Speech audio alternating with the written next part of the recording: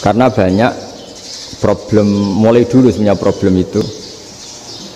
Orang yang wakam da'in yadda'i annahu da'a ilallah tapi hakikatnya yadda, yad'u ila nafsi. Jadi banyak da'i yang mengklaim dirinya mengajak ke Allah dan Rasul tapi sebetulnya hakikatnya mengajak ke kelompoknya sendiri.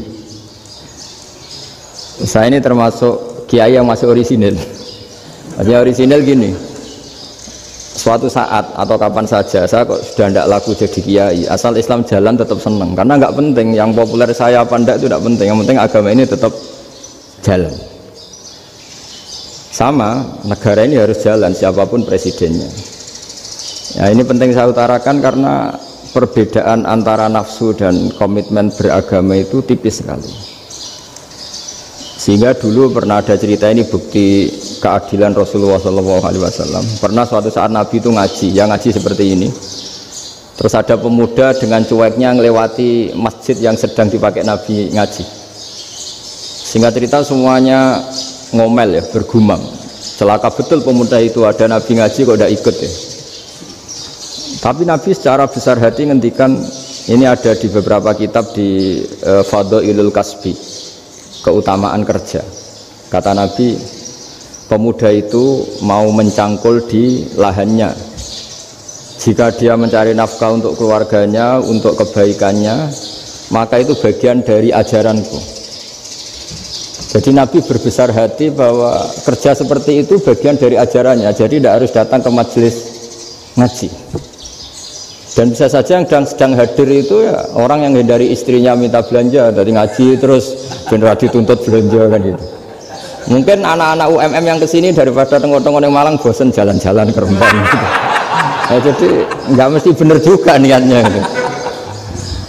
Jadi ya sama itu. Jadi kalau di dunia kiai, kiai-kiai yang masih orisinil itu nafsu itu benar-benar dilatih maka masyur dalam cerita ada orang perang sama Ali radhiyallahu anhu. Ketika perang ini sangat semangat. Tapi ketika orang itu meludahi dan Sayyidina Ali ini tersinggung karena diludahi, Sayyidina Ali langsung angkat tangan. Sudah perangnya nggak usah diteruskan. Karena saya marah sama kamu sekarang demi nafsu karena kamu meludahi saya. Padahal saya tadi motifnya demi Allah dan Rasul.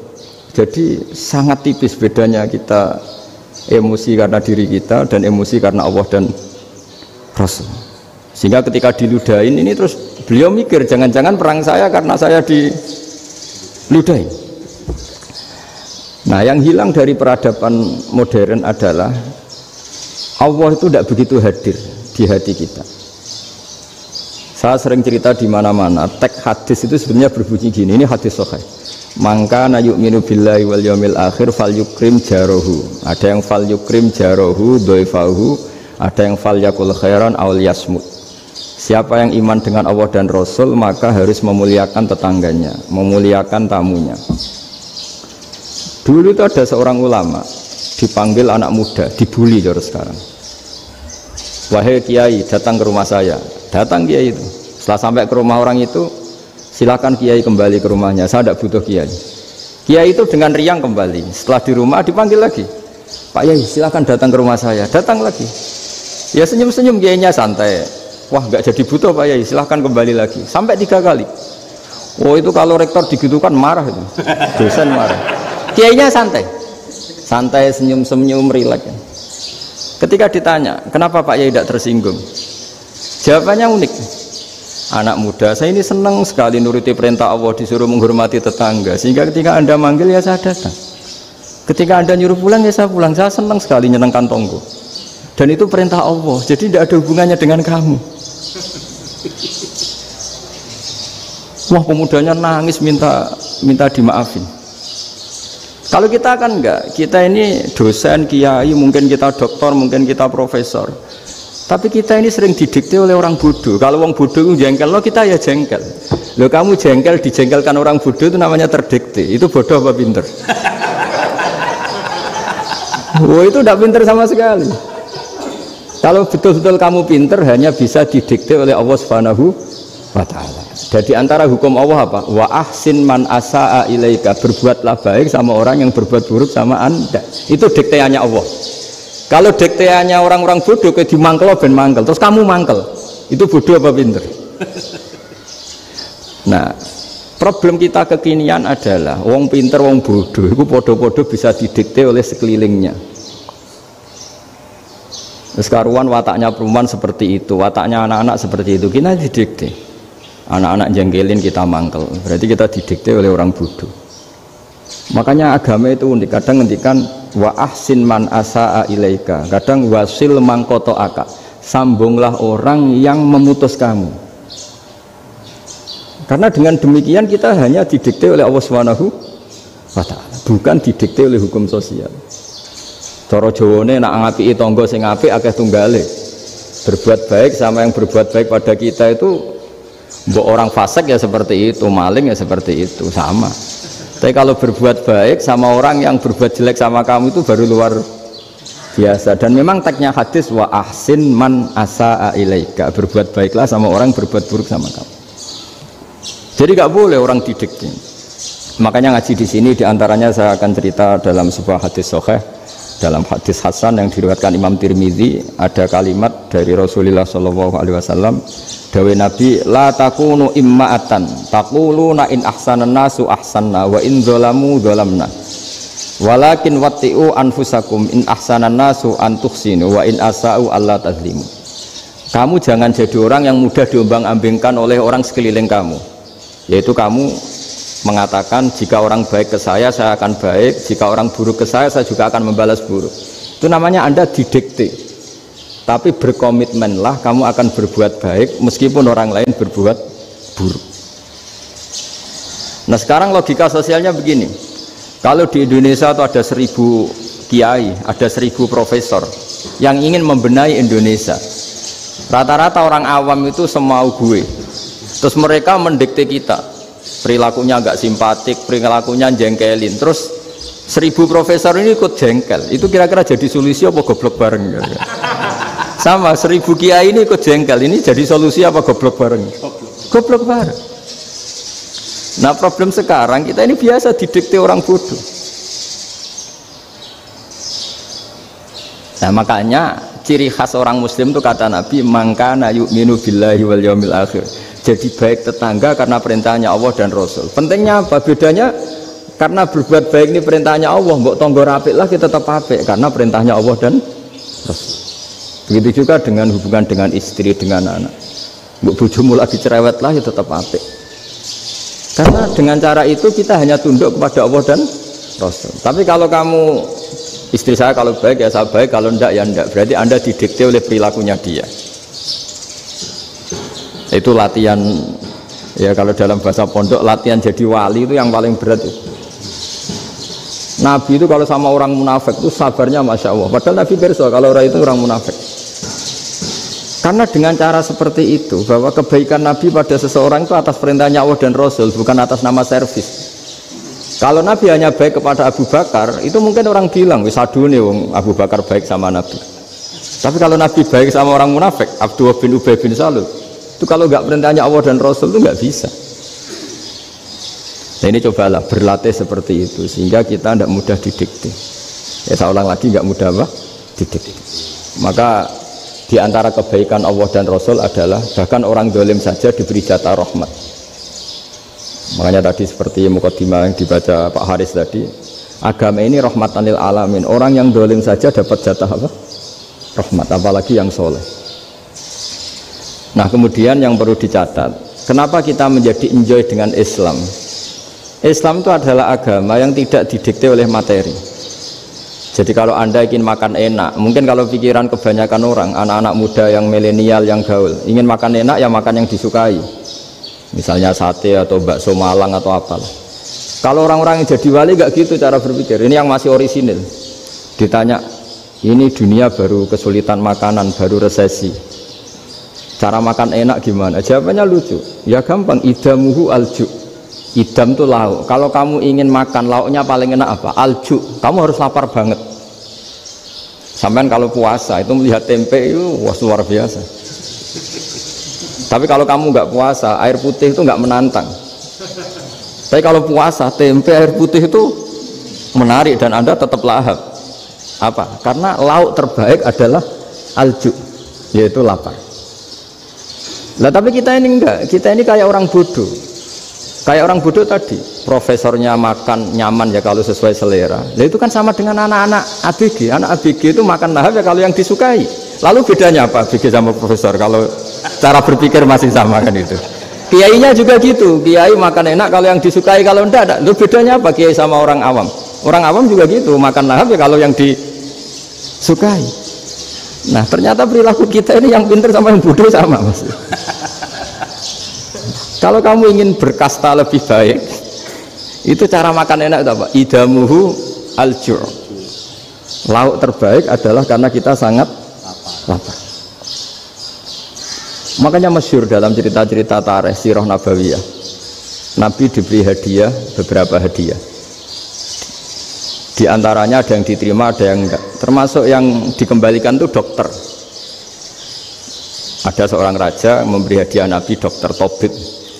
Itu sama Nabi dikembalikan. Karena dokter ini sudah lama kumpul Nabi, Nabi itu nggak pernah sakit.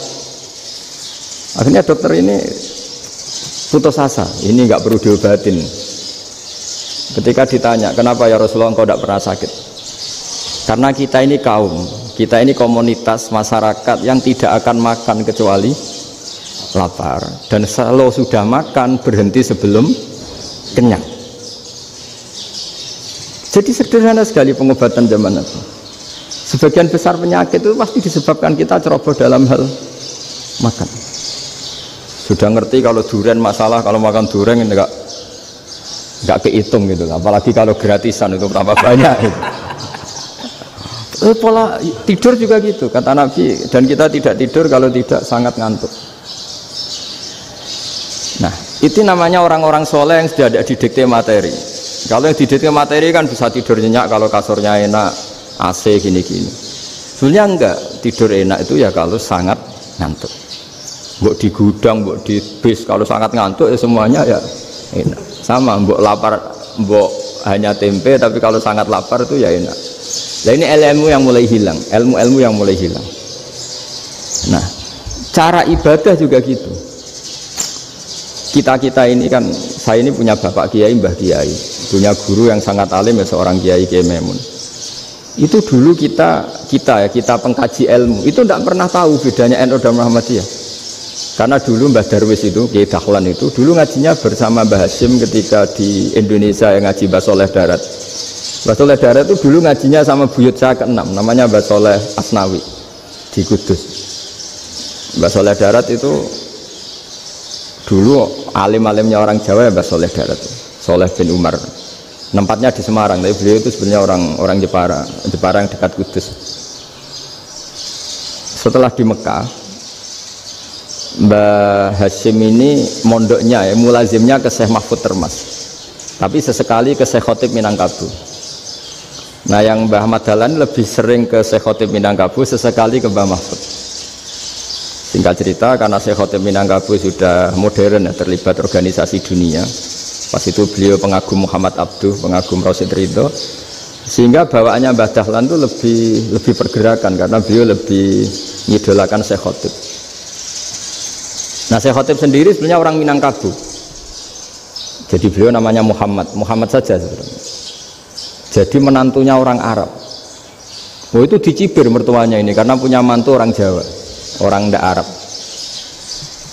Singkat cerita terus si si mertuanya bilang gini, kamu jangan pernah bilang kalau orang Arab itu mansa kanal Arab, orang yang bertempat di Arab walakin mantakal lama bi arabiyin fasihin tapi orang bisa ngomong Arab secara fasih singkat cerita kalau kamu tidak percaya nanti suatu saat menantu saya kalau Jumatan tidak usah kamu kasih tahu langsung suruh jadi khotib. Nggak usah kamu kasih tahu sarannya tidak usah kamu kasih tahu. Kalau sekarang kan enggak kalau dosen mau jadi khotib kan mengumpulkan materi dulu. Lucunya di antara materinya itu dari TV makanya jadi ribet kan khutbah sekarang. Kalau musim corona ya akan ngomong corona musim apa yang ngomong apa. Jadi lagi-lagi didikte oleh media sebenarnya kalau ngomong kan sesuai kebutuhan umat ini obatnya apa Tapi nggak sesuai trending topik itu kan kayak anak-anak gawe. Ini dokter kok gitu kan aneh. Singkat cerita si khotib ini nggak dikasih tahu, saya Muhammad tadi nggak dikasih tahu, langsung disuruh khutbah. Fatakal lama bikala min fasihin. Dia ngomong fasih sekali. Bahkan ngalah-ngalahi fasenya orang Arab asli. Semenjak itu beliau dapat gelar al khotib, orang yang cakap berpidato berkhutbah. Hanya terus desa khotib al Minangkabau. Jadi orang Indonesia itu luar biasa. Dulu yang namanya orang Indonesia di Arab Saudi itu dihormati sekali karena yang ke sana itu pasti ulama. Sudah alim di Indonesia ke sana termasuk Mbah Ahmad Dahlan. Mbah Hashim dulu karena sama-sama muridnya Mbah Soleh Darat. Lama-lama yang ke sana itu TKI TKW itu ya mulai mulai agak dibully. Dulu saya Nawawi di antara ijtihad yang dihormati itu beliau mengkritik nyuwun sewu orang yang kan orang biasanya normalnya kan muji, muji orang mati syahid. Hebat orang mati syahid itu hebat gini, gini. Oke, kita sepakat orang mati syahid itu hebat. Tapi kata Imam Nawawi dengan syarat niatnya itu li'ila'i kalimatillah dan itu bawaan takdir. Seorang lagi itu bawaan takdir, harus mati di medan perang. Tapi tidak boleh seseorang ini niat perang tapi niatnya supaya syahid. Karena kalau begitu berarti dia berniat supaya menjadi maktulal kafir, orang yang dibunuh orang kafir. Kedua, dengan dia mati berarti pasukan Islam berkurang. Berarti dia ingin pasukan berkurang hanya ambisinya dia ingin langsung ke surga. Misalnya pasukan orang Islam itu 10, orang kafir 10. Kalau kamu ingin syahid berarti mati satu kan tinggal 9 kan? Nah kalau yang seperti itu 10 kan mati semua. Gara-gara ingin syahid akhirnya perangi rapati tenanan benang mati benang lebu suarga. Kata Senawawi, ya enggak. Kalau kamu perang sama orang kafir ya niat menang. Dengan niat menang ini kamu ingin leilai kalimatillah. Tapi kalau kamu ingin syahid, berarti kamu menuruti keinginan nafsu kamu yang cepat masuk surga. Itu orang Arab kagumnya bukan main. Karena di mana-mana orang itu dinilai dari niatnya. Paham ini ya? Tapi perang loh ya dalam kondisi perang bukan teroris. Perang itu artinya orang kafir yang ingin bunuh kita, itu perang namanya apa? Perang. Dulu orang cerita syahid itu hanya pokoknya syahid itu hebat, pokoknya syahid itu hebat. Syahid di medan perang itu hebat, pokoknya syahid di medan perang hebat. Tapi ketika Senawawi memberi penjelasan ilmiah, jika kamu perang ingin cepat mati, ingin cepat syahid, artinya ini untuk pemenuhan diri kamu karena kamu bayangkan langsung masuk surga. Kamu lupa bahwa dengan kamu dibunuh kekuatan Islam berku, berkurang. Akhirnya beliau memberi penjelasan. Syahid itu bagus, itu sebagai takdir. Hanya takdir itu kita perang yang ingin menang, tapi takdirnya mati. Jangan dibalik oleh oleh perang rapati tenanan binang mati namun bu itu yang pertama termasuk ulama yang pertama memberi penjelasan itu itu Syekh Nawawi. Akhirnya melahirkan kekaguman yang luar biasa dengan tafsir munirnya itu. Terus beliau itu orang yang rileks kalau menjelaskan ilmu. Ini ya juga guru-gurunya Mbah Hasim, Mbah Guru sama Mbah Hasim sama Mbah Ahmad Dahlan Senawawi. Jadi dulu yang alim di Arab itu ada Senawawi, ada Syekh Khotob Minangkabu, ada Syekh Bakir Jogja, ada Syekh Mahfud Termas. Itu orang Indonesia banyak sekali yang alim. Bahkan di antaranya yang dikagumi Al Azhar itu juga orang Indonesia nama Syekh Abdul Manan itu mbahnya Syekh Mahfud Termas itu. itu pertama ada duta besar Indonesia di Mesir. Itu termasuk barokahnya Mbak Abdul Manan tadi. Itu juga orang Indonesia. Jadi pemahaman ulama Indonesia itu khas. Termasuk ketika memaknai apa? syahid ketika memaknai apa? sahih. Itu unik. Ketika Senawawi diuji dulu itu yang namanya ulama diuji dulu oleh 100 ulama. Jadi dulu ya ada kompetisi. Imam Bukhari diakui jadi ahli hadis itu diuji oleh mi'atu muhaddisin 100 orang ahli hadis. Sanat dibolak balik matanya dibolak balik tapi beliau tetap bisa mengembalikan proporsi sanat itu. Senawi pernah diuji gini. Ayul afdol al ulama awe salatin keren mana ulama sama raja atau sama orang-orang kaya sama penguasa? Ya keren ulama. Terus di, dibully sama orang. Tapi setahu saya banyak ulama yang antri di rumahnya raja. Tapi saya tidak tahu melihat raja antri di rumahnya ulama. Kan kebanyakan kan mungkin ustadz atau kiai yang antri ngajukan proposal kan, kan enggak. Nah, kalau raja kan enggak pati itu, malah enggak usah antri, kiainya sudah nyambut sebelum datang. Jawabannya lucu saya Nawawi itu dan yang yang tanya itu langsung diem.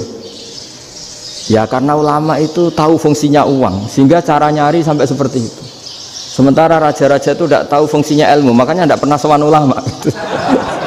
sehingga jadi ya ya dianggap enteng saja ulama kan tahu fungsinya uang tahu untuk pondok tahu masjid sementara raja tidak tahu fungsinya ilmu jadi itu khas Jawa ya khas Jawa khas Indonesia apa-apa yang menurut orang banyak dengan tanda kutip itu buruk atau baik itu orang Jawa menafsirkan tuh gampang saja sehingga semenjak itu Jawa itu dipandang betul saya punya kitab namanya Qodoyal Haji wal Umroh. Itu terbitan Hayatul Ulya Arab Saudi, milik Wahabi. Itu di antara fatwa yang dipakai untuk solusi muskilatul haji, problem-problem haji kekinian. Itu fatwanya syekh-syekh yang dari Indonesia. Termasuk Syekh Khotib Minangkabau, Syekh Nawawi Banten, Syekh Bakir Nur Jogja. Misalnya begini dalam fatwa-fatwa yang menyulitkan kita ya sampai sekarang jadi perdebatan ketika sofa dan marwah itu dengan batas tertentu saya ulang lagi dengan batas tertentu mau tidak mau atas nama kebutuhan itu kan butuh perluasan karena kalau naik turun itu mudah disepakati ulama jadi misalnya gini ya saya punya tanah seluas ini pasti orang akan mengatakan sampai bawah ya tanah saya sampai atas tanah saya itu mujma'alah itu disepakati sehingga Nabi ngendikan al Ka'bah mintu humil ardi ilas sama Ka'batun. Ka'bah sampai ujung bumi sampai ke arah semuanya Ka'bah. Sehingga tidak ada perdebatan ulama ketika Masjid Haram di tingkat, kemudian yang di atas sholat. Tetap dia menghadap Ka'bah. Tidak harus diluk melihat di bawah enggak. Karena Ka'bah sampai langit Sama, tanah Anda kamu tingkat sampai 10 enggak ada tetangga protes. Karena bawah sampai atas tanah Anda. Tapi kalau diperluas,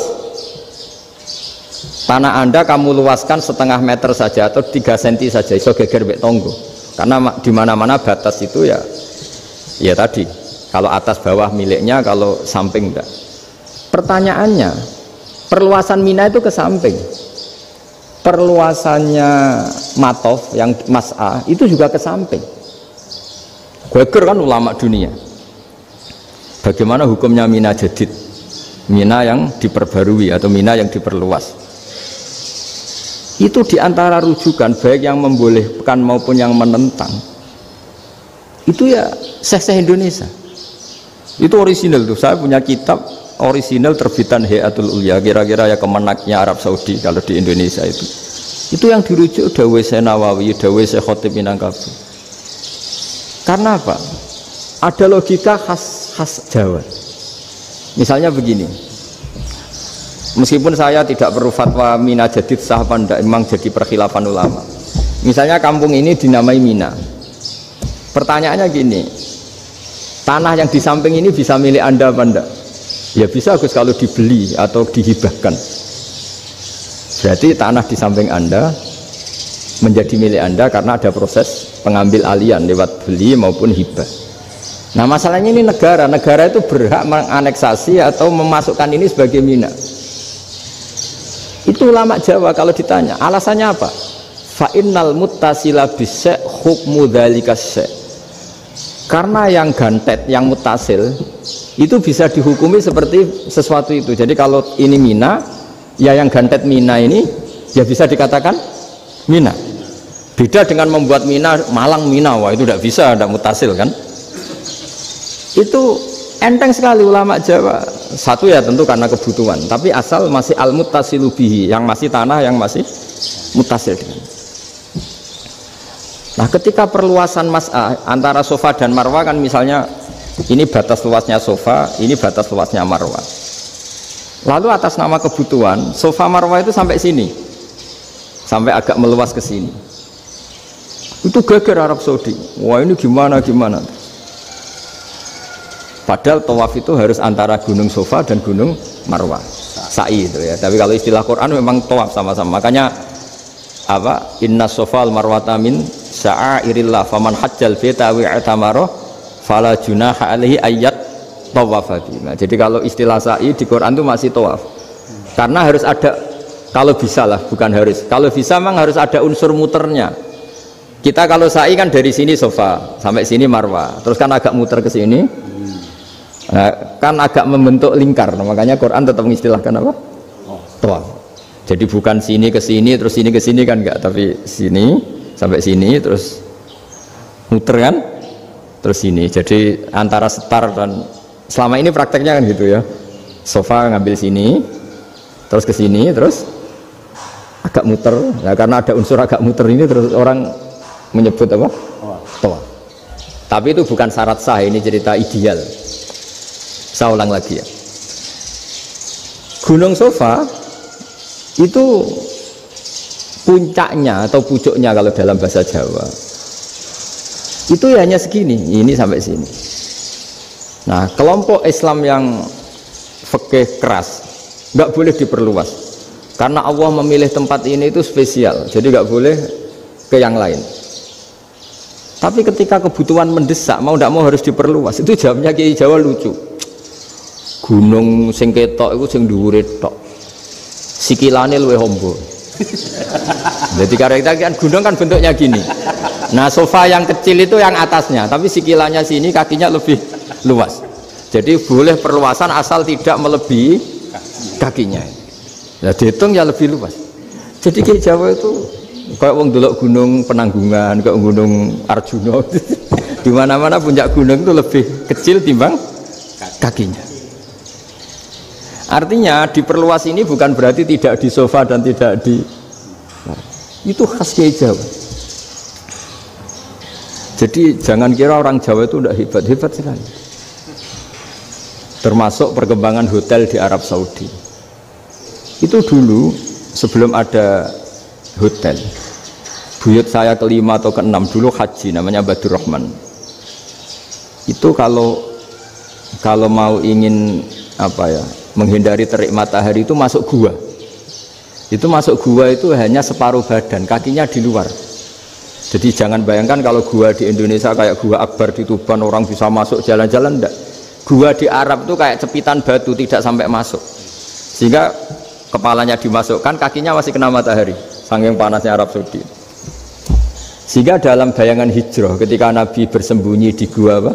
Sur itu kata Abu Bakar kalau orang kafir melihat kakinya pasti melihat kita karena nggak bisa masuk penuh. Jadi orang itu mau dempes tok. Sehingga ya kira-kira luasnya gua ya paling segini. Makanya guyonannya kiai-kiai itu untung nggak kayak gua Indonesia. Kalau kayak gua Indonesia laba-labanya capek karena luas sekali. Jadi jangan bayangkan gua Arab tuh kayak gua Indonesia. Makanya bayangannya andai kan orang tuh melihat ke bawah pasti melihat kita karena orangnya nggak bisa masuk penuh, nggak bisa masuk 100 persen. Ya kayak cepitan batu lah mirip.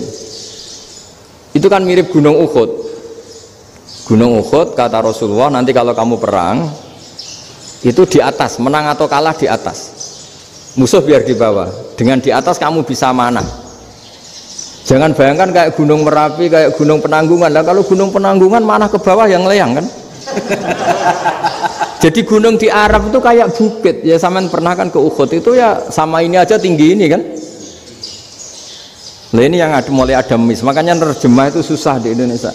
Karena jabal itu udah harus tinggi. Kalau kalau tinggi nggak bisa mana dari atas ke bawah kan nggak ngefek kan. Sama kalau ke Uhud gunungnya kan pendek sekali sehingga yang mana ke dari atas ke bawah ya kalau kena musuh ya celaka karena memang dekat. Ya kalau gunung Indonesia mana dari atas ke bawah yang keleyang nggak ngefek. Nah itu susahnya nerjemah bahasa Arab ke kita. Jadi apa ya transkrip itu nggak gampang karena ada ada ada pengertian yang beda. Kita kalau bilang gunung itu tinggi sekali. Sampai banyak mahasiswa tersesat ya saking tingginya. Kalau orang naik ukut nggak akan tersesat. Wong ketok dari bawah itu nah ini pentingnya ngaji ya jadi Akhirnya ulama-ulama Indonesia itu dipakai rujukan. Jadi mulai Mbah Hashim, Mbah Ahmad Dahlan sampai era buyut-buyut itu masih orang alim. Lama-lama yang di Indonesia ini orang-orang yang bodoh. Sehingga orang Jawa kalau ke sana dibully, ya Jawa ya Jawa tak kulu kaya. Orang Jawa itu penggaweannya itu mangan ulo, makan ular. Karena belut itu kalau di kamus itu persis ular. Dulu itu kan kamus tidak full color. Gara-gara gak full color, gambar belut sama ular itu sama. Belut itu belut sama ular kalau nggak full color gambarnya sama apa enggak? Sama. Terus orang Jawa itu kan masih banyak yang makan bajing itu apa? Ketupai itu. Bajing kalau digambar tidak full color sama dengan tikus. Gambar yang tidak warna. Hitam putih. Sehingga kita ini dibully pemakan tikus dan pemakan ular. Karena belut itu persis ular kalau digambar yang tidak full color. Sampai datang Syekhona Khalil, datang ulama. Ngarang kitab ya judulnya Al Belut. Karena nggak terima bangsanya dinyak makan apa? Ular. Terus dikarang. Wal belut hayawanun, bakhriyun, terus ya isu fikada wakada itu beda dengan al hayyah itu diterangkan mulai bisa nerima terus sistem hotel juga gitu. Sampai tanyakan dalam sejarah dulu orang Sedayu ada namanya Syekh Mukhtar. Syekh Mukhtar bukan bikin rumah besar yang siapa pun orang Indonesia haji itu nempat di sana. Nah ini yang menginspirasi akhirnya ada hotel. Dulu Syekh Mukhtar hanya menyediakan untuk hujat-hujat Indonesia. Lama-lama jadi hotel. Tidak mau saya mau cerita. Kata Mbah Mun sering cerita kenapa wama arsalna ka ila rahmatalil alamin kata Mbah Mun Allah itu pasti bikin ulama yang tidak produk Arab itu pasti ada. Kalau orang Arab jadi ulama wajar, bahasanya Arab, domisilinya di Arab. Tapi Allah akan selalu bikin ulama yang tidak bangsa Arab. Imam Ghazali itu Tus, Tus itu Persia. Imam Bukhari itu kira-kira kalau sekarang ikut Uzbek. Ya. Imam Bukhari itu kalau negara sekarang ikut mana? Uzbek. Kenapa demikian kata Mbah Mun? Karena Allah sudah ngendikan wama arsalna ka ilaka fatal linnas. Manusia semua ini kena khitabnya Islam. Kalau tidak ada ulama yang dari berbagai negara, kesannya Islam itu hanya milik orang Arab Saudi. Makanya Allah selalu bikin ulama-ulama yang bahkan tidak Arab.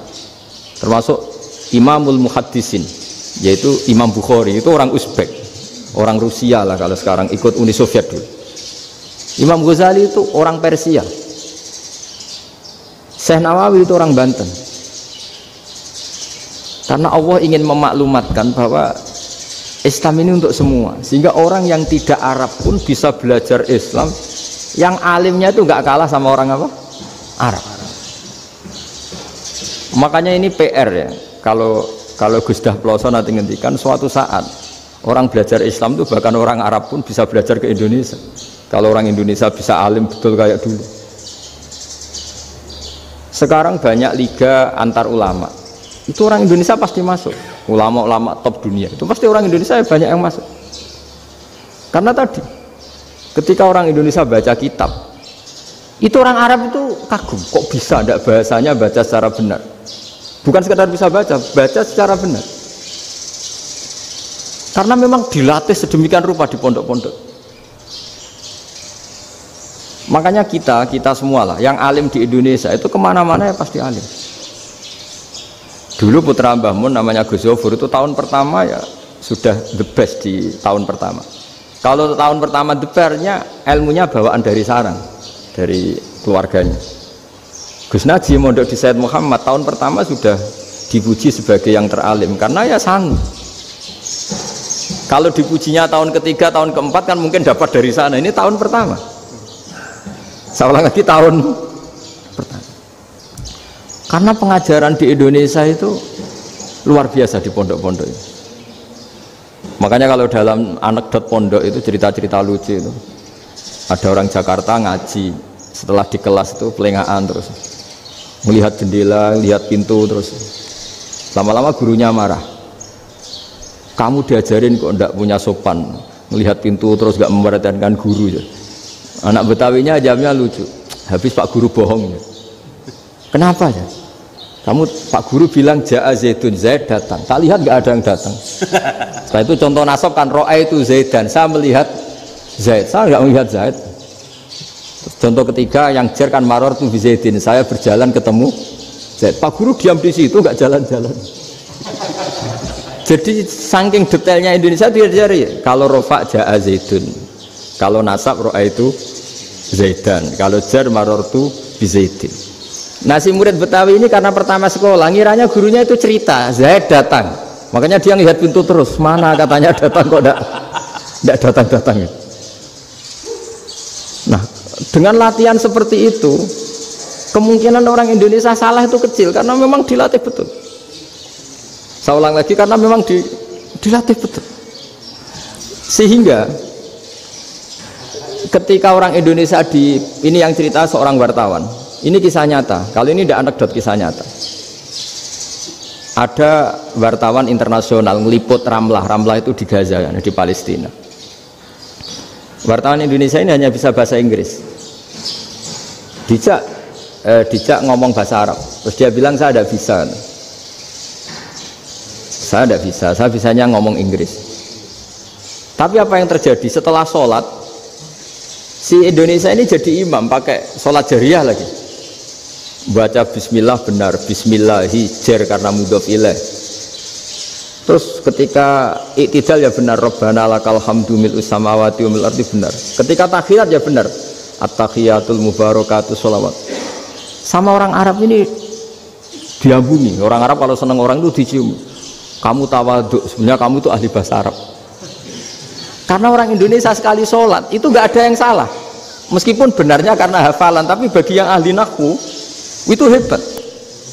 Misalnya kita kalau ngapalkan kan Bismillahi, bismi jar karena ba, Allah hijar karena mudhof ilaih, Ar-Rahman hijar karena sifat, Ar-Rahimi karena sifat.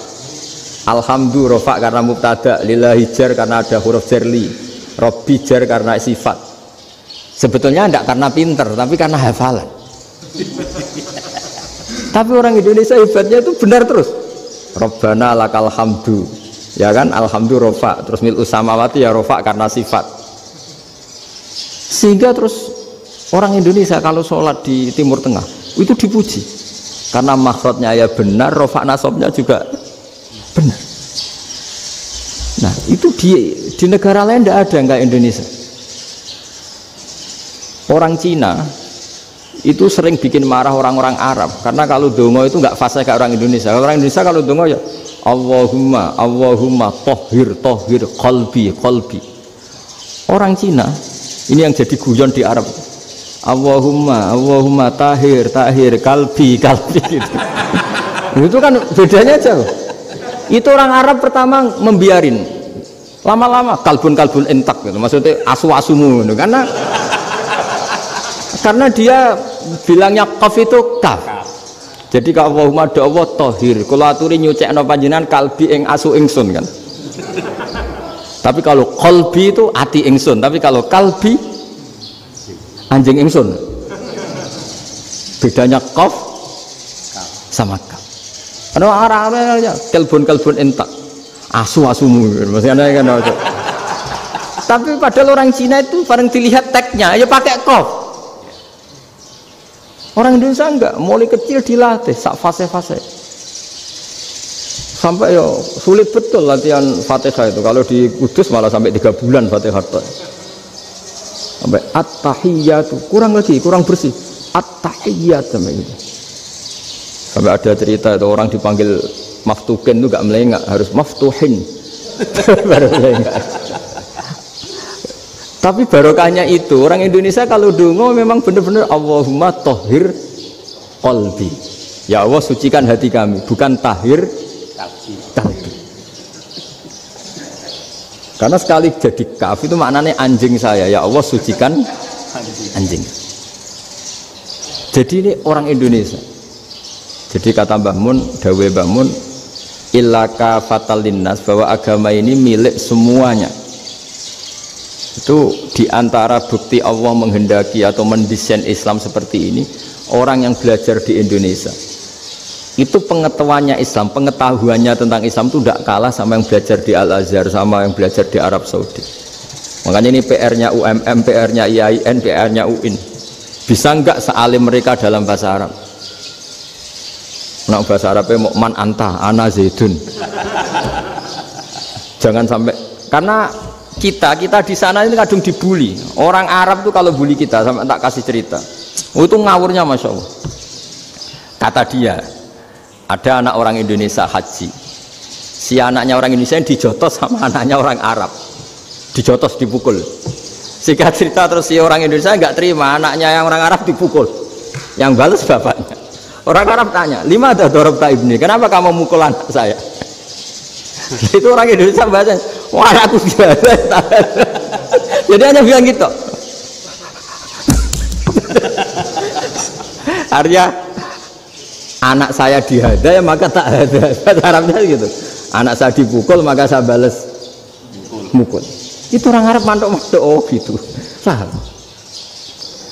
Suatu saat ada orang Indonesia itu sama orang Arab itu dilus-lus, dilus-lus itu ya digini-giniin. Karena dia latihan bahasa Indonesia, latihan bahasa Arabnya itu masih mufrodat. Jadi kalau mengartikan yadun itu tangan, saro itu jalan. Jadi kalau jalan ya saro-saro. Roksun itu kepala. Ana itu engsun. Jadi karena dia nggak ngerti nggak ngerti penggunaannya. Itu bahasa Arabnya itu yadun anta jadi bukan yaduka tapi yadun anta berarti tangan kamu saro-saro itu jalan-jalan ala rok si anak yang atas sira jadi mestinya yang benar kan yaduka al saro ala roksi atau gitu. Tapi enggak di dipotong-potong. Yadun tangan kan anta kamu. Berarti tangan kamu. Saro-saro jalan-jalan. Roksun itu sirah anak ingsun jadi di atas kepala saya. kepala saya. Orang Arab tertawa-tawa. Tapi paham? Maksudnya seperti jadi kita ini dibully di Arab itu masya Allah. Jadi akhirnya lahirlah ulama-ulama tadi yang saya sebut tadi. Bahkan pernah lama sekali ulama Indonesia itu jadi master di Arab Saudi. Yaitu Senawi Banten. Itu kalau orang sana bilang itu Sayyidu Ulama Il Hijaz top-topnya ulama Mekah Madinah. Padahal beliau orang Indonesia. Dan dimakamkan di Ma'la itu dekat makamnya Sayyidah Khadijah karena sangat dihormati. Nah di antara sebab dihormati adalah ketika orang memahami syahid maknanya pokoknya maktulal kafir. Syahid itu adalah orang yang kalau perang itu mati di medan perang. Itu Imam Nawawi merinci. Merinci secara detail.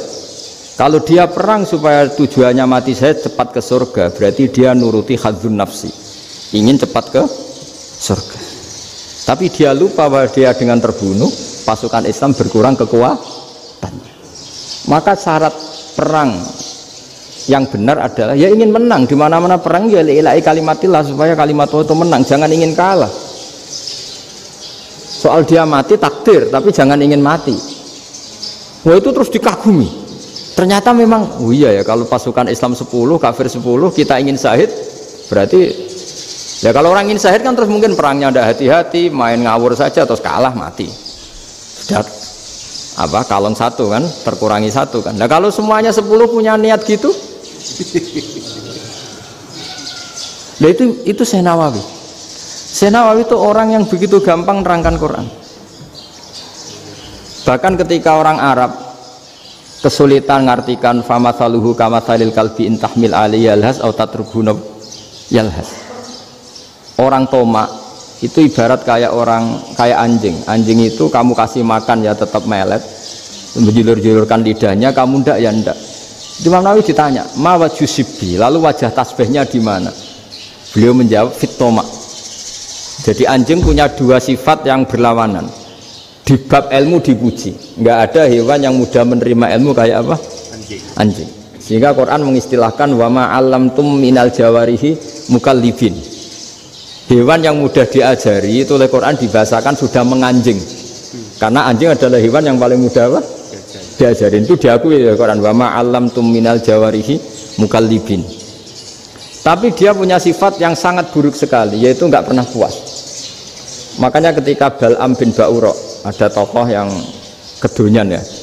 Itu kalau diistilahkan Quran walakinnahu akhlada ilal ardi wattaba'awa Fama saluhu kama salil kalbi intahmil ali alhas atau tatrukhu yalhas. Jadi anjing punya dua sifat yang berlawanan. Di bab ilmu dipuji karena mualim mudah diajarin. Itu saya pernah ke Malaysia, diceritain sama polisi Malaysia. Anjing itu saking cerdasnya, itu bisa deteksi CD palsu sama CD bajakan, asli sama bajakan. Itu kan gak kebayang. Kalau narkoba mungkin masih ada bau khusus ya. Atau mesiu atau bom masih ada bau khusus. Ini enggak. Anjing itu dilatih ngecek CD yang asli sama yang palsu palsu. Wah itu kebablas itu pinternya itu. Itu harganya itu satu miliar lebih, paling mahal. Jadi mungkin bisa deteksi ini dosen betul apa abal-abal itu bisa. itu kiai betul apa kiai pesanan itu mungkin bisa. Itu saya punya kitab namanya Al Hayawanul Kubro. Itu cerita prestasi-prestasi hewan. Itu yang berkuras-kuras sampai berjilid-jilid. Itu ya cerita anjing. Tidak ada hewan sebaik anjing. Di bab itu ya, di bab sampai ya tadi ada anjing yang sangat loyal sama majikannya. Loyalnya masya Allah, sopannya masya Allah. Anjing itu buat lama berbakti sama sampean nggak mau tidur di ruang tidurnya sampean dia tetap tidur di luar. Corong Jawa nggak ngelama suatu saat si raja ini minum wisata minum pas mau minum diterjang sama anjingnya sampai tumpah. Oh kecewanya raja ini itu karena selama ini anjingnya sopan sekali. Sekedar ganggu di ruangannya nggak pernah malah ini mau minum minuman yang disukai diterjang anjingnya tumpah. Marah kan anjingnya di mana? Ternyata apa? Minuman itu Anjing ini tahu kalau minuman itu beracun, diracuni oleh musuhnya. Itu saking hebatnya anjing sampai ketika ngawal rajanya itu tidak sekedar ada penjahat atau maling. Bahkan trik-trik kayak minumannya diracun oleh orang lain itu anjingnya tahu. Sehingga pas mau diminum di ya diterjang sampai terus supaya nggak keminum Makanya Quran istilahkan anjing itu apa? Wa alam tum minal jawarihi mukallibin. Hewan piaraan yang kamu ajarin nanti sampai sepinter anjing. Makanya ashabul kahfi itu ketika ngajak anjing tadi beliau-beliau tidur anjing itu tidurnya bil wasit wakal buhum basitung ziro'aihin bil wasit. Jadi dia tidur dalam posisi siaga. Lo coba anjing itu nggak pernah sekolah. Karena dia posisi menjaga tidurnya itu kayak siaga gini bukan ngorok semadep ke atas terlentang itu enggak. Andai kan dia tidur terlentang itu kan yang mau mengganggu kan wah sunai turwa itu enggak. Dia tidur posisi siaga makanya disebut lawit tolak ta'alihim lawalaita minhum firoron kalau kamu melihat anjing itu pasti lari karena dia posisi siap merekam. Jadi tidur tapi posisi siap merekam. Jadi matanya tetap terbelalak kayak siaga. Padahal itu enggak diperintah ya dia memang punya nalar untuk itu. Ini disebut wama alam tum minal jawarihi mukallibin. Dan dalam teori modern juga gitu. Tapi dalam hukum Islam yang dianut madhab syafi'i itu anjing tetap najis. Ya sudah najis ya najis. Tapi ada madhab lain yang mengatakan tidak najis. Tapi tidak usah rumah anjing geger nanti kalau rektor kampus punya anjing. Tapi ilmu itu bagus untuk kelangenan kadang. Andai kan tidak ada madhab malik maka kita kesulitan menceritakan asabul kafi yang hewan piaraannya itu anjing. Tapi misalnya anjing disucikan kita juga nanti susah menjelaskan hadis Nabi malaikat itu tidak masuk rumah yang di situ ada apa? Anjing. Maka ilmu itu makanya kata kata Imam Sa'roni sebagian ilmu itu memang kelangenan tapi nggak boleh jadi praktek. Tapi harus ada. Misalnya begini contoh paling gampang api. Dalam madhab syafi'i kan alat pensuci hanya dua air dan tanah. Ya saya ulang lagi air dan tanah yaitu tanah untuk mensucikan najis anjing. Imam Abu Hanifah menambahkan api. Madhab syafi'i itu agak kesulitan ketika ada batu bata dibikin dari tanah-tanah yang bercampur kotoran. Madhab syafi'i akan kesulitan karena di situ ada najis yang jadi materinya bata. Hukumnya gimana kalau nanti dipakai masjid tapi barokahnya ada beberapa mazhab. Abu Hanifah mengatakan dan api. Jadi apa tadi tak air, tanah, api. Alasannya masuk akal. Ketika usotul mukminin, orang-orang mukmin yang ahli maksiat itu sebelum masuk surga, kalau dia dosanya banyak itu dibakar dulu supaya suci. Emas itu untuk memisahkan dengan materi lain juga harus dibakar. Berarti api termasuk alat. Artinya gini, batu bata yang materinya dari tadi najis sekalipun, ini menjadi suci karena ngalami pembakaran. Tapi kata Imam Sa'roni, ilmu ini hanya sebagai ilmu.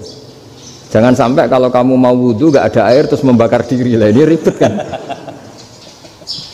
Jadi ilmu itu sebagian memang untuk kelangenan. Karena kita butuh. Andai kan tidak ada mazhab Abu Hanifah, maka kita akan kesulitan pakai bata. Yang kita tahu cara bikinnya kadang di tempat yang kotor, di tempat yang najis. Tapi karena ini ngalami dibakar, maka hukumnya suci menurut mazhab Abu Hanifah. Dan itu sering. Ulama itu sampai sampai apa? Saya punya kitab fikih namanya Fardul Masail. Pengandaian ada masalah. Jadi masalah itu belum terjadi tapi diandaikan. Misalnya kayak di Texas Bumi itu bulat-bulat. Texas itu kalau dibor itu pas Ka'bah. Lalu kiblatnya di mana? Bumi ini kan hanya rubuk-rubuk seperempat, yang ada arah itu seperempat. Tapi kalau Ka'bah itu sama Texas atau Texas dengan Ka'bah itu lalu kiblatnya mana? Mau sudah bebas arah. Maka ilmu mengatakan maro'ahu muslimuna hasanan bahwa indawa hasanun. Kamu jangan nuruti ilmu hakikat tapi nuruti mindset. Kalau mainstreamnya orang banyak seperti itu mindsetnya orang sana misalnya Ka'bah sana ya ikut sana. Tapi ini tidak mewakili hakikat karena kalau yang 380 derajat itu kan terus ribet. Makanya ini kesulitan di bab-bab ya saya ulang lagi kesulitan di bab-bab fikih. Makanya fikih itu selalu bicara misalnya gini ada orang sholat saya ulang lagi. Setelah salam pertama dia kentut, itu sholatnya batal apa enggak? Itu lama berdebat. Yang dikatakan rukun sholat itu salam pertama, sehingga orang kalau sudah salam pertama, maka sudah keluar dari sholat. Maka kalau kentut nggak apa-apa, wong yang keluar dari sholat itu salam pertama. Tapi lalu pertanyaannya, kenapa Nabi salam dua kali? Lalu yang kedua gunanya apa? Ribet kan partai ini kalah pasti kalau ditanya gitu. Tapi kalau ditanya dibalik sholat itu satu ibadah yang dimulai dengan takbir yang diakhiri dengan salam, salam. berarti salam pertama itu pengakhir apa nunggu salam kedua? Pertama di semua ulama bilang salam pertama. Kalau salam pertama sudah pengakhir berarti pembatalan setelah itu nggak punya efek nggak punya akibat. Itu kan ribet. Debat fikih itu memang ribet Fikih itu memang senam otak karena karena pertanyaannya mirip-mirip seperti itu. Nah, sampean milih mana? Milih salam pertama apa salam kedua? Pasti ulama milih salam pertama. Jadi anehnya fikih itu di situ. Misalnya orang mati, takbir itu berapa kali? Empat kali. Andai kan takbir lima kali itu batal apa enggak? Satu lama mengatakan lima kali itu batal. Karena rukunnya sholat jenazah itu takbir empat kali. Berhubung ini rukun, kalau nambahi kelima, berarti menambahkan rukun. Kayak kamu sholat rukuk dua kali kan batal. Sujud tiga kali batal karena menambahkan apa? Rukun. Berarti kalau takbir tiga, empat, lima kali batal. Tapi pertanyaannya, takbir itu adalah wiridan biasa, sehingga kalau ditambahkan nggak punya akibat jadi perdebatan ulama itu kadang ya lucu. Kayak kemarin Pak Haris pas pertama bertamu ke sini mau ngundang saya tak ceritain. Dulu sholat jenazah itu pasti mayat di depan. Karena lazimnya sholat jenazah itu mayat di depan. Tapi mulai dulu lama sudah berpendapat. Andai kan jenazahnya di belakang pun tetap sah. Fa'inal jenazah laisat di imamin. Karena jenazah itu tidak imam. Kenapa harus di depan? Oh tidak imam kok harus di depan. itu mulai dulu. Sehingga ketika Arab Saudi pernah mengalami tragedi, ada orang yang dibungkus kayak mayit, ternyata senjata. Setelah di dekat Ka'bah dipakai dulu tragedi tahun berapa itu. Pokoknya pernah ada tragedi itu. Semenjak itu Arab Saudi kalau ada orang mati tetap di kamar mayit terus ada sholat jenazah. Padahal mayitnya di belakang yang sama. Jadi meskipun kita tidak akan bikin ajaran baru jenazah di belakang ya tidak keren kasihan kan. Tetap biasanya di depan ya di depan. Tapi meskipun jenazah ini di depan, kita tetap berpendapat, andai kan di belakang tetap sah, tapi nggak usah dipraktekkan. Nah pentingnya ilmu ini begini, Saya misalnya di Rembang, boleh nggak nyolati hoib jenazah yang di Surabaya? Boleh kan? Padahal yang kita solati di di belakang. Jadi ilmu itu penting. Cocok tidak cocok nama ilmu itu penting. Terus ada gini lagi pertanyaan di fikih. Memang saya sengaja akan ngaji fikih. Kalau ngaji intelektualitas orang Muhammadiyah juara lah. Tapi ini ngaji fikih. Ada orang sarongnya itu pas sampai lutut. Kalau berdiri lututnya tertutup. Tapi nanti kalau ruko agak jengking lututnya terbuka.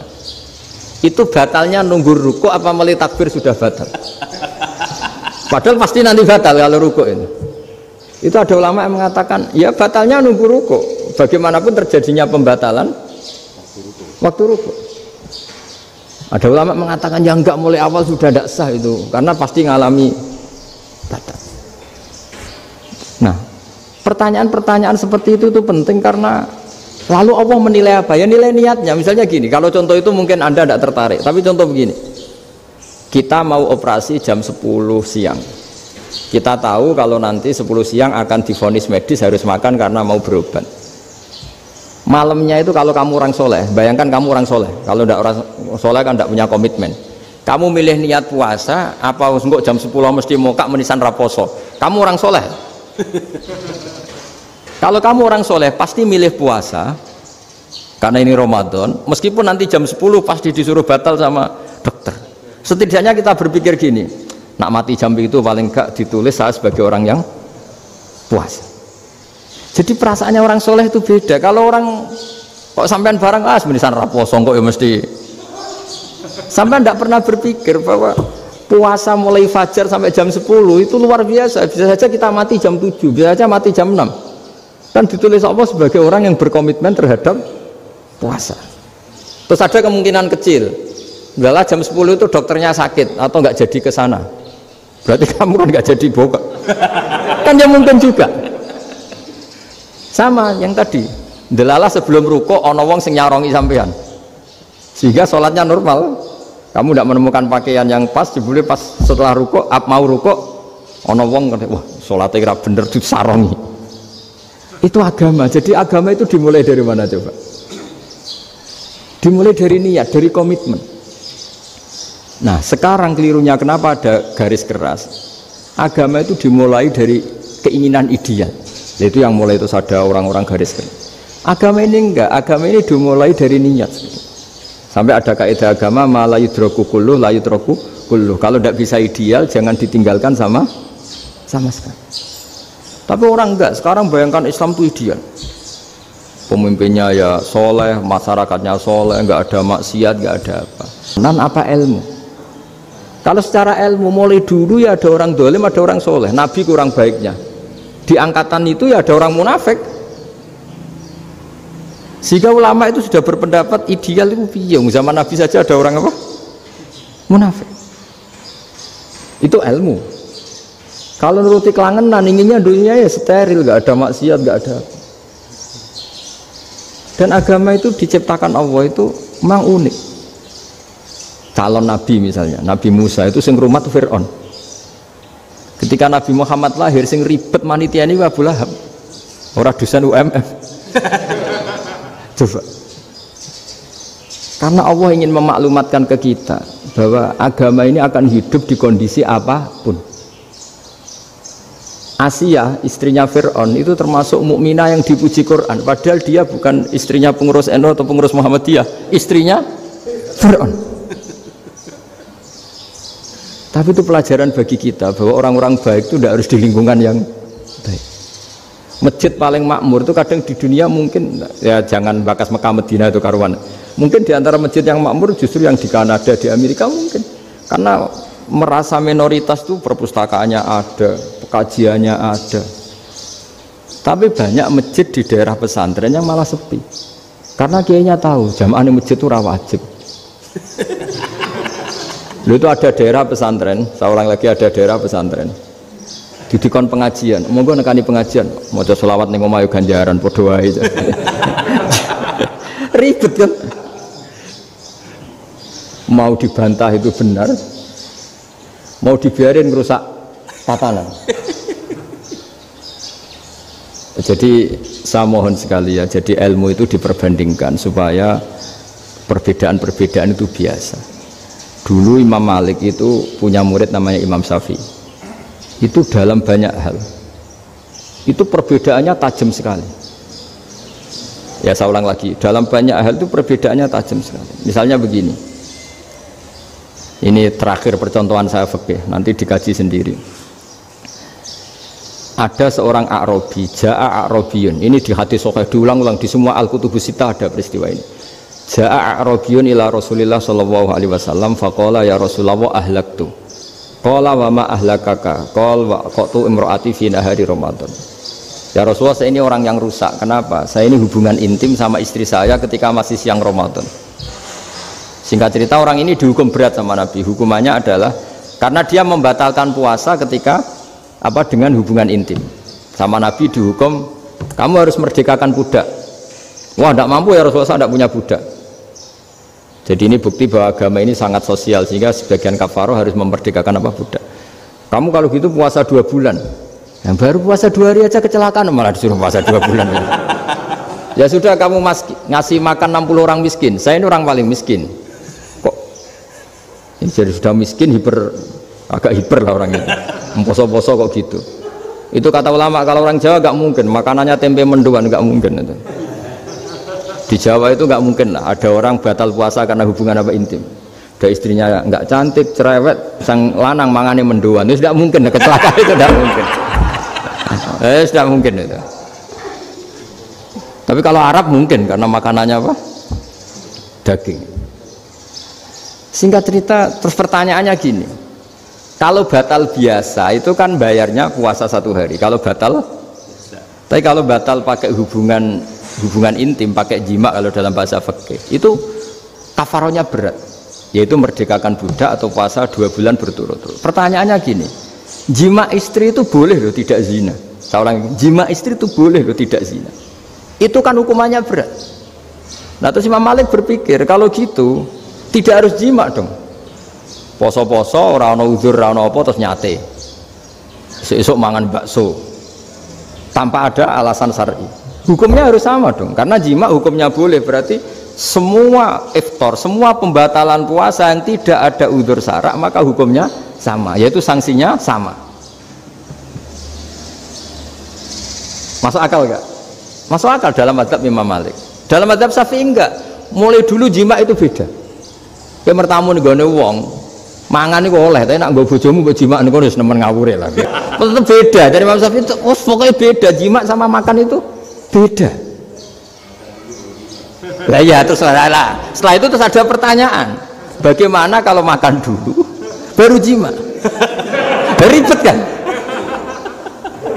makanya itu sampai dibabkan kita khilafil fikih bab merekayasa fikih makanya itu perdebatannya orang Hanafi sama Imam Syafi'i juga sama ada orang jam segini lapar sekali. Kalau langsung makan kan kena sanksi. Ya pergi aja dulu. Pura-pura ngaji ke Gus Bah gitu. Nanti kan jadi musafir kan? Wah, itu sudah boleh itu kan. Musafir. Padahal enggak. Memang dia pergi itu karena supaya bisa makan.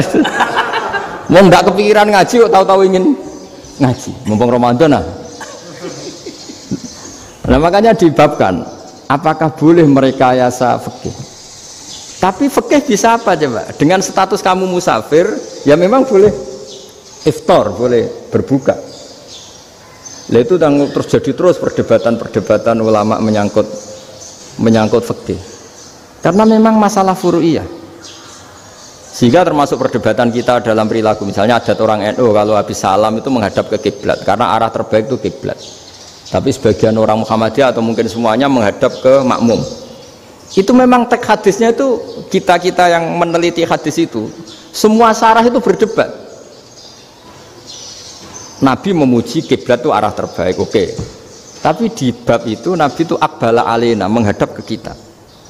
Lalu pertanyaannya kenapa menghadap ke kita? Ada mengatakan karena Nabi memang punya tradisi kadang ngendikan. Ya tentu dulu istilahnya tidak kultum, nggak ada istilah itu dulu, tujuh menit itu nggak ada. Tapi ada ulama yang analisis begini, termasuk kitab Fathul Bari. Nabi itu tokoh sentral, taruh lagi Nabi itu tokoh sentral. Ini kata kitab Fathul Bari, bukan kata saya. Nah, orang-orang yang imamu kaumi, orang-orang yang jadi imam di daerah masing-masing, tetap kalau sholat itu ikut Nabi.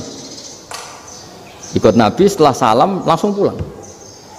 Jadi sebetulnya salam langsung pulang itu ya ada sejarahnya karena dia mau jadi imam di daerahnya. Nah, tidak kebayang kalau Nabi itu madep kiblat. Kalau Nabi madep kiblat, orang yang masbuk yang barusan datang, pasti langsung usoli misalnya fardul isya'i misalnya terus makmum Nabi padahal Nabi sholatnya sudah selesai jadi intinya gini kata Fatul Bari imam setelah salam itu harus bikin gerakan atau omongan atau apa saja yang menunjukkan kalau sholatnya selesai, selesai. di antara gerakan itu adalah beliau harus menghadap ke hadirin atau menghadap ke utara atau apa saja yang penting menunjukkan kalau sholat ini sudah selesai itu fikih. Jadi fikih itu cara analisis itu memang unik. Karena kalau Nabi tetap seperti itu, posisi pancet seperti itu, maka orang yang baru datang mengira Nabi masih sholat. Nah, pertanyaannya kalau mereka sudah takbir, malah sholatnya tidak sah. Kenapa tidak sah? Menggantungkan sholat atau mengikatkan sholatnya dengan orang yang sudah tidak sholat. Jadi menjadikan orang yang nggak sholat sebagai imamnya kan nggak boleh. Maka Nabi harus memaklumatkan dengan gerakan itu bahwa beliau sudah tidak sholat. Karena orang datang dari berbagai daerah. Jadi nganalisis fikih fikhul hadis namanya. Itu lama itu mau tidak mau debat. Karena pertanyaannya itu kenapa? Ya memang memang mau apa? Karena yang, namanya sosial itu yahtamilu muhtamilatin. Ada sekian kemungkinan.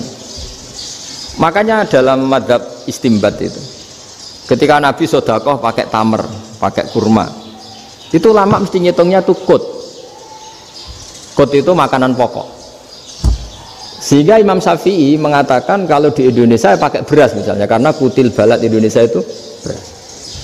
Oke Imam Syafi'i mainstream tapi ketika era Yusuf Kordowi di Al-Azhar di Mesir sana ulama-ulama mulai mulai usil sama sih ingat Bamun sering gejolokan lah iya petani gabah, petani padi wis melarat wajib zakat. Petani cengkeh kakao suga-suga wajib zakat hanya karena yang ditanam tidak kut, tidak makanan pokok. Jadi mulai ada ulama mulai gerah lah kalau bahasa politiknya mulai gerah. Yang petani miskin gara-gara yang ditanam padi wajib zakat. Yang orang-orang di sana misalnya di Sulawesi karena tanamannya kakao atau cengkeh tidak wajib zakat karena bentuknya tidak kut tidak makanan pokok. Geger kan? Di Al Azhar geger. Akhirnya hampir semua ulama berpendapat ya sudah sekarang ketika Nabi menzakati kut makanan pokok itu jangan dihitung sebagai makanan pokok wa mimma akhrsna lakum minal ard. Apa saja ma itu apa saja. Makanya kata Yusuf Kordowi ma itu apa saja. Makanya semua tanaman yang menghasilkan uang itu wajib zakat. Nah, masalahnya kitab-kitab Syafi'iyah itu sudah mamluah, sudah penuh dengan penjelasan misalnya fala zakata fil khodrowat, maka nggak perlu zakat untuk kayak kangkung, semangka dan sebagainya. Lalu kiai-kiai angkatan modern kayak Mbah Mun itu sering dapat masukan. Saya pernah dengar sendiri. Yai, saya ini punya sawah satu hektar, tak tanamin padi, itu nggak pernah kaya saya. Sekarang tak tanamin kangkung malah saya kaya karena tiap tiga hari panen tak kirim ke Jakarta. Itu orang Indramayu yang tanya. Jadi gak tanam padi gak pernah kaya, tanam kangkung kaya. Nah, karena dia orang soleh, kalau zakat boten. Mau diwajibkan zakat tidak makanan pokok, mau tidak wajib dia kaya. Semenjak itu perubahan di Indonesia ikut. Akhirnya ada zakat, pokoknya asal tanaman yang satu nisab ya wajib zakat. Masih ada debat lagi. Ketika nanam ingin dipanen itu dia petani apa pedagang? Karena nanti perdebatannya ikutnya zakat zuro zakat tanaman apa zakat pedagang kalau sampai nggak pernah debat berarti sebenarnya anda ada dosen Islam ini. Mau berusaha nggak pernah diskusi fikih apa? Islam. Karena saya berkali-kali punya tamu itu begini Gus saya ini pedagang melon. Tapi dia penanam melon. Jadi pedagang yang agak ya agak ingin badi banyak. Itu caranya gini Pak Rektor. Saya misalnya pedagang melon. Daripada saya kulak di pasar atau dari petani sudah mahal. Nyewa tanah sekian hektar terus ditanami melon. Setelah berhasil ini dia zakatnya tanaman apa zakat pedagang? Karena dia nanam itu mentalnya sudah pedagang. Padahal nanti zakatnya beda kan? Yang satu dua persen setengah, yang satu rubul usur sama nisul, apa nisul usur sama usur, seper sepuluh sama seper dua puluh. Kalau zakatnya zuro kan seper sepuluh atau seper dua puluh, yang satu rubul usur, kira-kira 2,5 saya ulang lagi ya. Jadi di era modern itu kita jadi bingung pedagang tapi gayanya petani, petani tapi hakikatnya. Jadi gampangannya gini ya, kalau saya pedagang beras, kok saya kaya raya, itu mendingan nyewa sekian hektar untuk ditanamin beras, eh, padi ya daripada tengkulak daripada beli.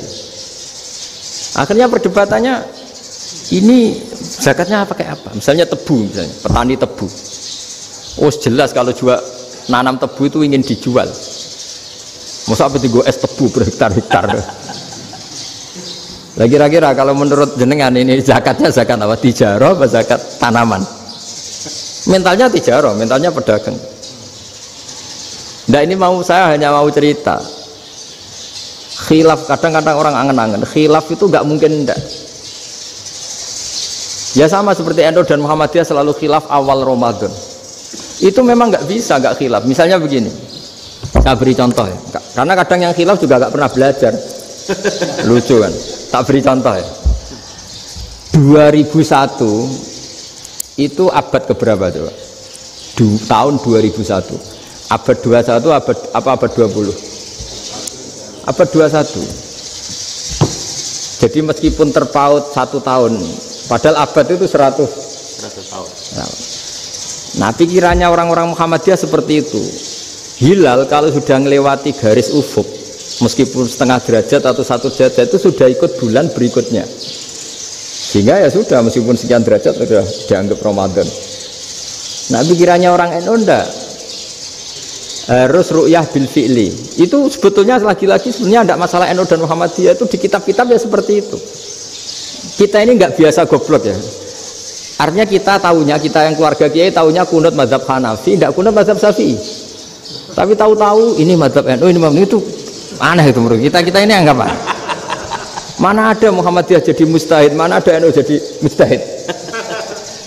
jadi sebetulnya orang tahu semua lah kalau Abu Hanifah itu tidak kuno, Imam Syafi'i itu kuno. Imam Syafi'i pernah main di, di masjidnya Abu Hanifah ya tidak kuno ditanya, kenapa tidak kuno? Jenengan itu presiden kuno, tidak sanggup mati Abu Hanifah. Dulu biasa aja. Sekarang geger. Ya karena tidak punya kegiatan. Sebenarnya itu nggak masalah, mulai dulu biasa. Saat teruskan ya. Nah, menurut mayoritas ulama nunggu ru'yah bil fi'li. Ru'yah bil fi'li itu gini. Mata telanjang bisa melihat karena agama ini menggantungkan perintah itu sama melihat. Kalau kamu tidak melihat itu bagaimana kena hukum? Igara gini, Pak Rektor datang ke rumah saya, tapi saya nggak tahu. Kena nggak saya hukum harus menghormati? Dia datang nggak sembunyi-sembunyi. Saya kena hukum harus menghormati ya kalau melihat, kalau enggak ya enggak. Tapi Pak Rektor tetap bilang, tapi saya hakikatnya datang, jadi saya datang itu. Itu kan ribet. Akhirnya ya sudah itu nggak akan nggak ada khilaf sampai mati ada khilaf karena yang satu menggantungkan hukum, hukum itu digantungkan sama tahu. Kalau tidak tahu ya, misalnya baju saya ini hakikatnya ada najis, pas sholat saya tidak tahu. Sholat saya sah apa enggak? Sah. Karena hakikatnya, ya memang saya tidak tahu. Tapi hakikatnya ada najis apa enggak? Ada. Ada. Ya sudah itu sama-sama masuk akal. Ada lagi khilaf yang senam otak. Fasyamu salah satu ayamin fil haji wasab'atin idza rojatum. Singkat cerita ada satu pelanggaran haji yang kata Allah kafarohnya itu puasa tiga hari sama tujuh ketika kamu pulang idza rojatum ketika kamu pulang. Dalam madhab syafi'i yang namanya pulang itu yang haji sudah sampai rumah. Di mana-mana pulang itu ya sampai rumah. Dalam mazhab Abu Hanifah enggak, ketika orang sudah balik kanan dari Arab Saudi, dari Mekah, ya namanya sudah pulang. Misalnya gini, ini Pak Rektor pamit saya, Pak Haris. Gus, Pak Haris mana? Ya sudah pulang kata saya. Padahal sampai pandangan sampai depan. Tapi bagi keluarganya belum pulang. Lah lalu idharu jatuh ketika pulang itu bahasanya siapa? Bahasa istrinya apa bahasa yang ditamoni? Kamu ditamoni orang, terus kamu tamunya mana? Sudah pulang. Tapi tanyakan istrinya, belum pulang. Jadi khilaf-khilaf gini kok jadi geger itu kan goblok banget maksud saya itu. Jadi biasa, gini itu biasa. Jadi ya karena memang ini bukan masalah akidah, ini masalah furu'iyah, masalah fikih itu masalah furu'iyah. Mau tidak mau harus beda. Misalnya di sholat juga gitu. Wa ayu qu'udin ko adal musolli sokat sholatu. Duduk dengan gaya apa pun itu sholatnya sah. Sehingga sampean kalau haji atau umroh, orang Arab itu jenenge duduk enak anak awak di kursi. Duduk sopan ya hanya orang Indonesia loh. Kalau sholat itu masih duduk ala orang tahiyat. Kalau sampean di Mekah, duduknya pakai apa coba? Kursi ya? Oh enak anu sholat duduk. Karena memang takbirnya di dengan duduk gaya apa saja sah. Makanya sengenak awak duduk di kursi. Ribet kan? Mau tidak disahkan itu namanya duduk. Mau disahkan masa iya soal Allah kok duduk santai-santai gitu. Tapi mau apa? Ini fakih. Ya sekarang lagi ini ini fakih. Fakih itu ya sudah ini fakih. Makanya kalau lama berdebat misalnya Abu Hanifah berpendapat sholat itu wajib baca fatihah apa asal Quran dalam mainstreamnya ya Fatihah karena la sholat lima malam yakro bi Fatihatil kitab tapi cara Abu Hanifah enggak fakro'u mataya minal Quran bacalah apa saja yang mudah bagi kamu asal itu Quran sementara enggak gending Jawa gak nyanyi lah gitu. ya sudah mau apa coba jadi ya susah memang kalau kalau fikih itu ya sudah seperti itu ada lagi yang masih ekstrim misalnya yang namanya menyembelih hewan itu gimana coba? Dari hidup ke mati, apa pasti mati disembelih? Cara mazhab Imam Syafi'i yang namanya menyembelih itu penyembelian harus menjadi sebab kematian. Itu yang sah. Saya lagi, penyembelian menjadi sebab kematian yang syar'i. Sehingga beliau mensyaratkan hewan yang disembelih ini masih punya hayatul mustaqirrah, punya kehidupan yang normal. Sehingga kalau nggak disembelih ya hidup. Jika kalau ada hewan ketabrak truk kejet-kejet, mesti mati ini buat sembelih. Itu nggak sah karena nggak usah disembelih ya wes mati kan. Karena ini hanya nunggu koordinasi Israel kan dia kejet-kejet itu kan prosedur itu. Tapi tidak disembelih pun mati. Tapi cara mazhab Malik enggak. Pokoknya anggere cek duwe nyawa jenenge kewan urip. Dengan kamu sembelih berarti mati ini mergo mbok sembelih. Meskipun nanti ya gak usah disembelih ya, mati. Coba hitung secara ilmu matematika. Kalau nggak disembelih hidupnya lima menit. Gara-gara kamu sembelih hidupnya langsung mati. Terus dia matinya, coro di, di persidangan, matinya disebabkan apa? disebabkan disembelih apa kecelakaan? Loh, ya debat toh kamu. Sama-sama UMM aja debat.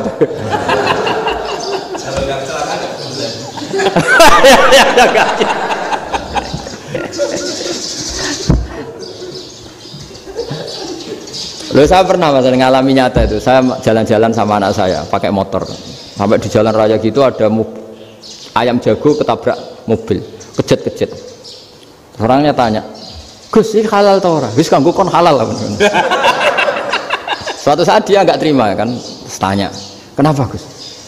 Ya nak kiai rapantes, masuk kewan mesti mati nih tak sembelih. Nak kiai pantas kata. Karena aku tahu kamu tuh gak kiai, mesti motifnya itu mergo jago, jajal cilik gak tak kok nol. Ada kan ayam itu bayi kan gak ditanyakan. Kejat-kejat mati rak lah, wong cilik wae. Tapi masalahnya ini kan jago. Eman. Eman itu. Tapi secara fikih pertanyaannya tadi, hewan yang sudah tidak punya hayatun mustaqirrah, dia hanya punya al hayat al itiroriyah, dia punya harokah itiroriyah. Dia mati kejat-kejat memang prosedur mati harus seperti itu. Mbok kecelakaan kayak apa kalau mati kan kejet-kejet dulu. Nah, ketika kejet-kejet ini pertanyaannya ini kan hidup apa mati namanya? Enggak, namanya hidup apa mati? Pas kejet-kejet itu. Hidup. Cara cara Imam Malik itu hidup. Ya sudah kalau hidup disembelih ya halal. Karena misalnya nanti kalau nggak disembelih matinya kan dua menit lagi. Gara-gara disembelih mati sekarang. Tetap penyebab kematian itu nyembelih. Penyembelian ini sebab kematian. Tapi kalau Imam Syafi'i enggak, cara berpikir wes nemen, paling roh besok kaget langsung mati. kalau gitu berarti kamu nyembelih barang mati. Jadi fikih itu kadang unik. Makanya ketika ngitung fikih itu unik ya. Orang keluar mani wajib apa? Mandi kan? Terus Imam Syafi'i ditanya, kenapa kalau orang lahir kelahiran juga harus mandi? Namanya nifas. Fa innal walada waliyun mun akidun. Ya, anak ya mani yang menggumpal. Bedanya apa anak dengan mani itu? Jadi fikih itu ya kadang lucu. Di rumah-rumah tenan juga lucu. Keluar mani wajib mandi. Berarti kalau keluar anak ya wajib mandi karena hakikatnya anak adalah mani yang mengkristal. Terus usia orang sudah dosen macam-macam itu kan hakikatnya mani. Itu fikih. Nah terus ditanya, kenapa kalau lahir langsung mati tidak wajib disolati? Ya jawabannya Mas Safi lucu. Di mana-mana sholat tuh nyolati mayit. Yang namanya mayit itu pernah hidup terus mati. Kalau itu ndak mak ndak mayit ya sudah. Jadi kadang Nah iya, kan disebut sholat mayit. Yang namanya mayit itu apa? Pernah hidup. Pernah hidup. Nah ini kan tidak pernah hidup. Maka ya sudah seperti itu. Jadi nggak khilaf itu nggak mungkin. Nah kalau kit atau lahmin, kalau hanya potongan daging, mungkin wah itu tidak manusia karena kita atau lahmin. Sekarang pertanyaannya, kalau sudah berbentuk manusia, meskipun tidak pernah hidup, nah ini mulai perdebatan karena melihat tidak pernah hidup itu nggak memenuhi syarat. Tapi melihat ini sudah suratu adamian bentuknya sudah. Nah kira-kira gitu perdebatan fikih. Makanya dulu awal mula zaman sahabat itu sudah debat. Masyur kan? Nabi ada kontingen ke Bani Quraidah. Ya kalau kira-kira saya minta Pak Rektor Pak Rektor kamu jangan kalau ke Malang jangan sholat asar kecuali sampai Tuban. Sebelum Tuban ternyata matahari mau tenggelam. Terus Pak Rektor milih wah sudah sholat di bulu. Padahal belum tuban. Padahal saya bilang jangan sholat asar kecuali di tuban. Yang Pak Haris enggak tetap sholat di tuban meskipun matahari sudah tenggelam. Karena Nabi menyebut tuban. Singkat cerita zaman itu kan Bani Quraidah la tusolliyanal asro illa fi Bani Quraidah. Kalian semua jangan sholat asar kecuali sampai Bani Quraidah ternyata di tengah perjalanan matahari sudah mau tenggelam kira-kira kurang dua menit atau tiga menit. Sahabat-sahabat sudah kita sholat asar di sini. Kalau sampai sana pasti sudah tenggelam. Separuh sholat. Yang separuh enggak kata Nabi harus di Bani Quraidah. Ya sudah nunggu di Bani Quraidah meskipun matahari sudah tenggelam. Sehingga kita dua kelompok ini matur ya Rasulullah kita ngalami ini ini perdebatan gini-gini. Di semua riwayat di hadis-hadis sohail disebut falam yu'anif wahidan min huma Nabi tidak menyalahkan salah satunya atau nggak menyalahkan dua-duanya itu bahasa Indonesia juga ribet yang benar gimana itu nggak menyalahkan salah satunya apa nggak menyalahkan dua-duanya gimana bahasa benernya itu Salah satunya. salah satunya itu dua-duanya Ya. enggak kalau bahasa Indonesia tidak menyalahkan Kedua-duanya. kedua-duanya apa salah satunya yang benar Kedua-duanya. Kedua-duanya. bahasa Indonesia itu ya kadang ruwet ya. Orang pinter kayak Pak Habibie itu namanya ya orang luar biasa. Nanti sekolahnya orang-orang idiot itu ya sekolahan luar biasa. Orang pinter banget bahasa Indonesia nya ya luar biasa. Kalau sekolah untuk orang-orang yang idiot juga luar biasa. Jadi kalau dipuji luar biasa itu gak jelas luar biasa ya gak jelas kadang bahasa kita ini kadang ya gak jelas. Nah itu gak menyalahkan dua-duanya apa salah satunya? Keduanya. Tidak menyalahkan kedua-duanya. misalnya dibahasakan gak menyalahkan salah satunya benar apa salah? Benar. Benar kata ya sudah benar semua. Jadi itu bukti bahwa ijtihad itu boleh. Seorang lagi bukti bahwa ijtihad itu boleh. Padahal ini jelas yang satu harus sholat asar padahal matahari sudah tenggelam. Makanya di antara fikih unik itu begini. Saya ulang lagi fikih unik. Saya menyaksikan betul ketika ada orang tanya Mbah Mun Mbah Mun saya ini Kopassus. Kadang latihan itu sampai waktu zuhur habis. Saya harus bagaimana? Jadinya Mbah Mun tuh unik. Sementing ngojo ngosor sholat. Engkau yojo niat jamak. Atau kodok katanya singkat cerita terus orang ini diskusi sama saya karena ini ya alim pernah mondok. Kenapa kosor tidak boleh? Karena kosor itu ekstrim merubah bentuk sholat dari empat menjadi dua. Maka alasannya harus jelas. Harus jelas itu orang yang latihan di Kopassus itu kan dia sudah berasrama di situ. Berarti dia sudah tidak musafir karena asramanya di situ sudah mukim. Kalau dia kosor itu merubah bentuk sholat dari empat menjadi dua. Merubah itu ekstrim tapi kalau dia kodok itu hanya mengakhirkan sholat dari waktunya. Kira-kira kalau kamu jadi malaikat ekstrim mana? Merubah sama menunda? Ekstrim merubah kan? Karena empat menjadi dua. Terus ojo jamak takdim tapi jamak takhir. Itu juga penting. Bagi pengkaji fikih itu penting kalau jamak takhir itu salah-salah sidik rapati popo kenapa? Kan mirip duhur kodok. Kalau jamak takhir kan tapi kalau jamak takdim asar kok di waktu duhur? Ekstrim mana? Perubahan takhir sama takdim itu ekstrim mana? Ekstrim takdim karena melakukan sesuatu belum waktunya. Belum waktunya. Jadi itu memang ya memang tadi kajian-kajian fikih itu memang unik karena bagi ahlinya saya lagi tapi ini saya lagi bagi ahlinya makanya ketika Nabi menjamak sholat ketika nusuk, ketika haji itu kata Imam Syafi'i lis safar. Karena Nabi pergi jauh karena rumahnya Medina. Tapi resikonya fatwa itu adalah orang Mekah nggak boleh jamak karena kawasannya nggak sampai 90 kilo lah kalau sekarang mungkin. Tapi kalau tahu Imam Malik nggak, jalin nusuk sehingga orang Mekah pun yang haji ya boleh jamak karena alasan jamaknya karena nusuk, karena haji bukan karena jarak. Terus diteruskan lagi. Kalau karena pergi boleh jamak, memangnya pergi itu kenapa? Karena repot. Nah itu masalah kan kok. Nah, terus mulai ada orang-orang yang ngawur kan resepsi jamak ribet. Wes resepsi dua utangan kan capek. Wah itu sudah jamak.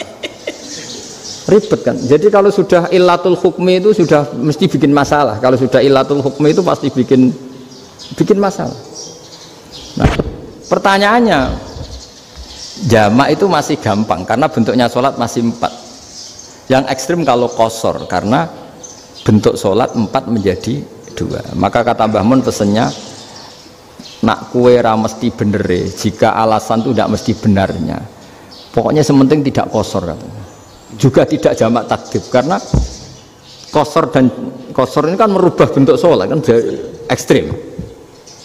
Jamak takdim juga ekstrim karena mendahulukan sholat sebelum waktu waktunya. Kalau jamak takhir kan biasa kalaupun salah kan mirip kodok.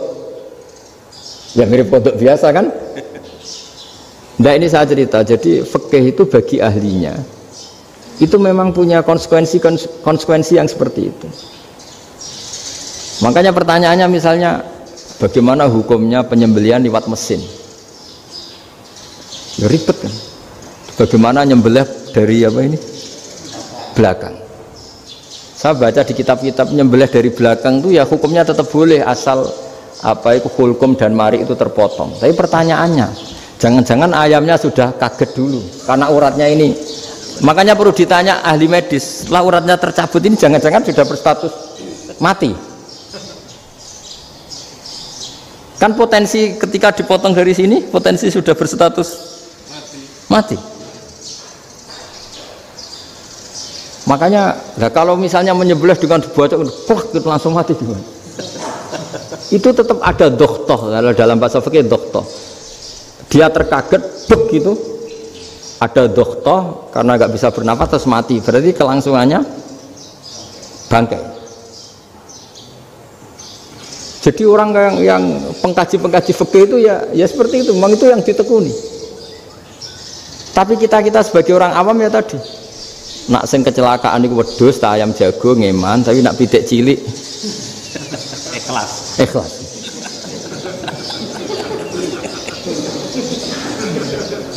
Makanya ada pertanyaan orang-orang saya pernah ditanya itu ya bingung tenan. Gus, kalau ada orang mati oplosan misalnya, jenengan datang sholat enggak? Ya datang sholat kan dia orang mukmin saya tetap sholat. Kenapa ya kan matinya oplosan.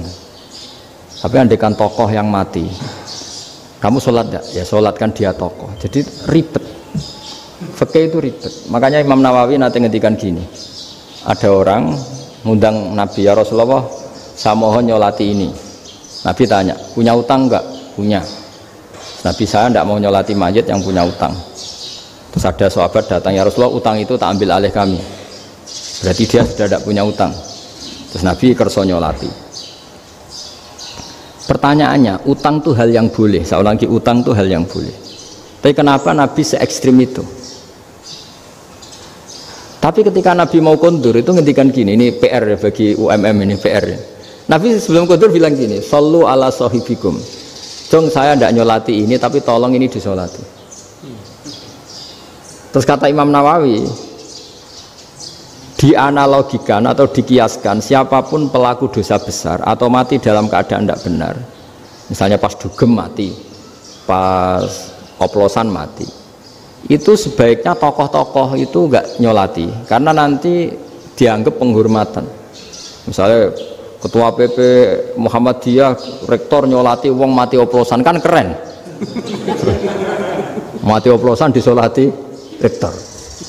Ya sudah tapi kalau nggak disolati nanti ada tradisi yang keliru yaitu janazatul muslim tidak ngalami disolati. Padahal siapa pun yang muslim janazahnya harus disolati makanya setengah-tengah ya rasa rektor lah satpam pokoknya kudu tetap ada yang sholat gitu. Itu kata Imam Nawawi. Jadi ketika ada orang mati nggak benar itu sebaiknya tokoh-tokohnya nggak ikut nyolati tapi awamun nas orang kebanyakan ikut sholat jadi fikih itu agak jelimet karena tadi ketika tokoh ini nyolati pertanyaannya bedanya apa? Mbak sing mati ini masjid mbak mati oplosan. Karena sama-sama semua orang nyolati kan tidak ada sanksi sosial itu. Tapi ketika nggak disolatkan sama sekali wah lebih parah lagi ini ada janazatul muslim tidak disolati. Sehingga kata Imam Nawawi ini hebatnya Nabi tengah-tengah. Jadi Nabi kundur Jong saya ada nyolati tapi solu ala sohibikum ya tapi ini kamu harus nyolati. Kata Imam Nawawi orang yang mati bunuh diri orang yang mati oplosan orang mati secara nggak benar itu asal dia muslim tetap wajib disolati. Karena sholat ini hakul muslim. Kan seorang muslim di antara haknya apa? Ketika mati di kafani dimandikan disolat. Tapi ini masalahnya matinya pas murtakibul kabiroh pas melakukan dosa besar. Dan itu sebab kematiannya. Kalau dia oplosan kan sebab matinya ya karena oplosan. Ya kan terus ribet. Mau disolati oleh apalagi misalnya kita ketua ulama punya terkenal wali wah keren. Mati oplosan itu disolati wali. Kan ribet kan? Nanti yang repot malaikatnya. Itu ya ini yang nggak kata bah saya pernah baca kitab itu yang repot malaikatnya itu ada yang bilang gini orang yang punya hutang itu pasti nanti hisapnya berat diaudit malaikat sampai bisa nyaur hutangnya Sementara malaikat kena konstitusi, kalau Nabi mendoakan harus mustajab. Ini kan ada dua hukum yang berlawanan. Sekali Nabi berdoa, wa maghfir lahu warhamhu itu harus dituruti malaikat. Gak boleh doanya Nabi gak dituruti malaikat. Sementara aturan Islam juga harus dituruti bahwa orang yang punya utang harus tersandra oleh hutangnya. Tapi nasi dunia Pak Haris kan, ah gak TNO. nggak ngefek gitu jadi misalnya Pak Haris juga sampai nangis semua makfir lahu kan nggak ngefek malaikat nggak itu nggak nggak nggak sudah lah sartir tapi kalau Nabi yang berdoa kan harus diturutin ini masalahnya kan itu Nah kalau diturutin berarti hutangnya harus bebas. Padahal secara aturan harus tersandra karena punya hutang.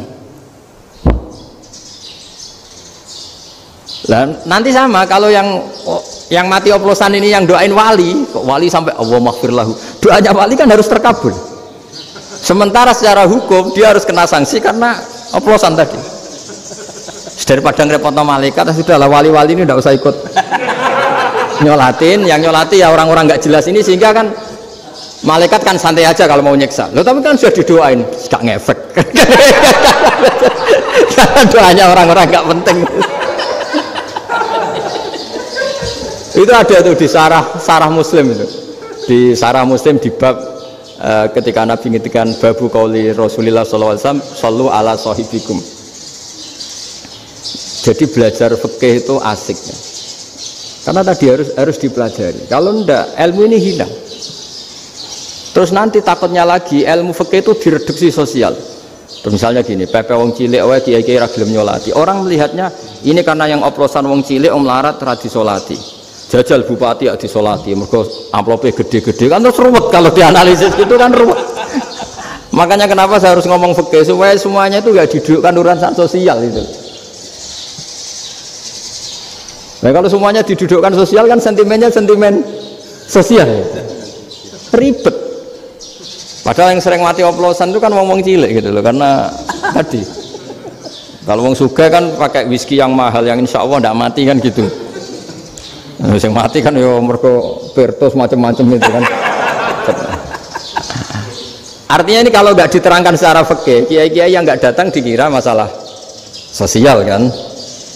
Oh, PP salam tempel era gede terus nggak nggak datang kan terus jadi ribet.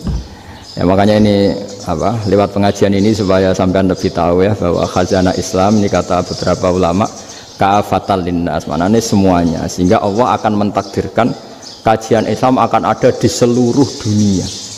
Jadi kenapa IAIN marak di Indonesia, UMM, Universitas NU banyak? Karena agama ini kafatal dinas, tidak miliknya orang Arab tapi milik semua. Orang alimnya juga gitu. Ketika ada liga alim seluruh dunia, itu orang Indonesia, orang Afrika, ya selalu ada orang alim yang kelas dunia. Seperti dulu ada Imam Bukhari, itu asokhul kutub ba'da kitabillah. Kitab terbaik setelah Quran itu Bukhari. Padahal dikarang oleh orang Uzbek. Kata siapa? Islam Asobyan, ada orang Arab ngakui kalau kitab paling soha itu Bukhari. Mekah Madinah pun ngakui kalau kitab paling soha Bukhari. Padahal pengarangnya ada orang Arab. Orang mana? Uzbek. Imam Ghazali yang diakui seluruh dunia itu Atos itu ikut Persia. Juga bukan orang Arab. Si bawah, jadi orang Persia. Nah ini yang belum ada orang Malang ini, tinggal PR ini. ya, nyusul ya, ya. Sarah demikian. Assalamualaikum warahmatullahi wabarakatuh.